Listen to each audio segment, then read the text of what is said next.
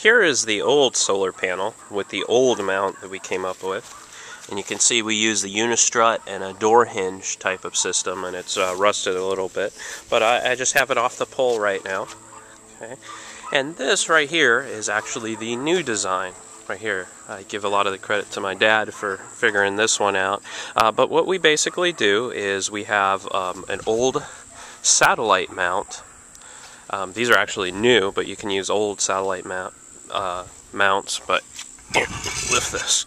Okay, and you can see it just has two unistruts attached to it, and it's actually the satellite mount that mounts to like the wall or a block or something like that. It's a straight piece and it goes to about a two inch pipe and it fits perfectly just like that and we've already drilled the holes that will make this sturdy and the angle is adjusted right now at about 25 degrees uh, for all of them okay just like that so it is movable but we're going to make it static and then this whole um, uh, the solar panels are going to go across. We're going to have about five of them on these three poles.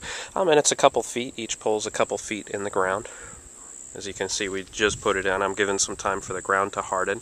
And I also brought out my new piping to go from my junction box, the J box right here. And these are my grape solar panels. So we're going to go from the junction box, straight line, and there's going to be a junction box right here. So we're going to have a piece of unistrut. Let me back up here. Uh, we're going to have a piece of unistrut going across here okay, to hold everything and make the whole system sturdy.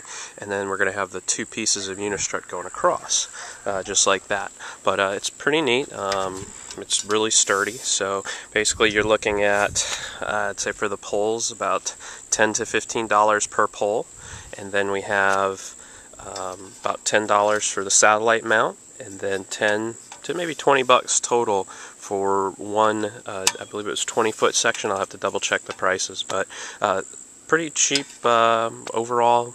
Each one is under 20 bucks versus say 20 to 30 uh, just for this mount right here. They don't even uh, sell this one at Northern Tools anymore, but you can see that this is just at 45 degrees. It's not adjustable. Plus, you got to put the unistrut here. Plus, I had to get the U-bolts uh, and the uh, board here. Whereas this is pretty simple, and I think what we're going to do is just use this uh, from now on. And uh, I've already made room and cleared here, and this uh, shed, old shed that's fallen apart is going to go.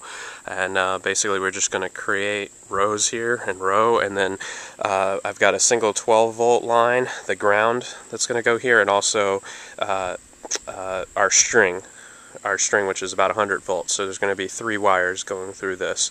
So I'm going to be doing that today, trenching that, putting it here. Uh, solar panels have already been ordered, and they'll be uh, here uh, within the week. And I'll start installing those and uh, make a video and show how I'm doing that.